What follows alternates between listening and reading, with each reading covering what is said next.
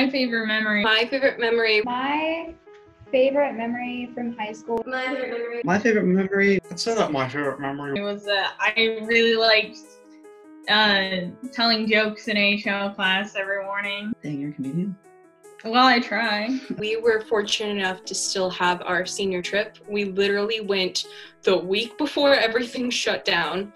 We went to Washington, D.C. as a class, and it was an opportunity to have those last like few memories and moments with your best friends before you all leave to different states and different colleges. Shooting football games. I'm a sports photographer for my school, and just so I'm pursuing sports journalism for college. So getting to do that in high school and finding my passion is really huge. Um, I guess just the the fact that we were able to be um, competitive in a lot of things as a school.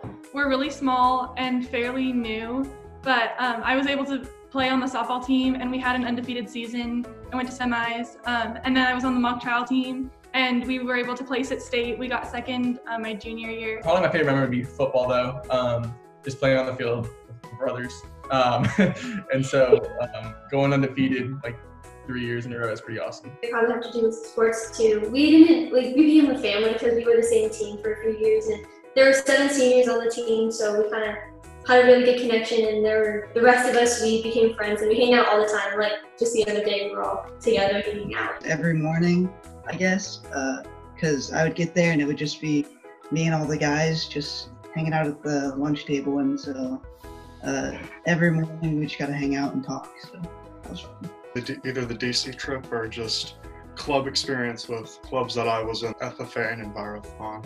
I learned a lot of stuff in those clubs and I met a lot of people. It's probably some of my favorite memories there. Mine would probably be just screwing around in, in drama class junior um, year. We never really did any work. We just messed around the entire time.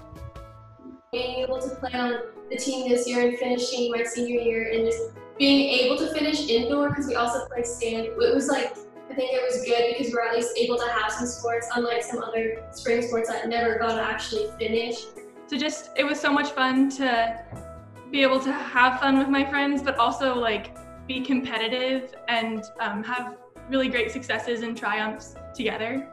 And I just made so many memories, and I became the biggest extrovert because of it. So I'm forever thankful for it. That meant a lot to me, and that's it's good that we got to end on a high note because that was our last time really together, and it was a really good high note. It was probably the best week of my life. It was amazing. So that would be my favorite memory.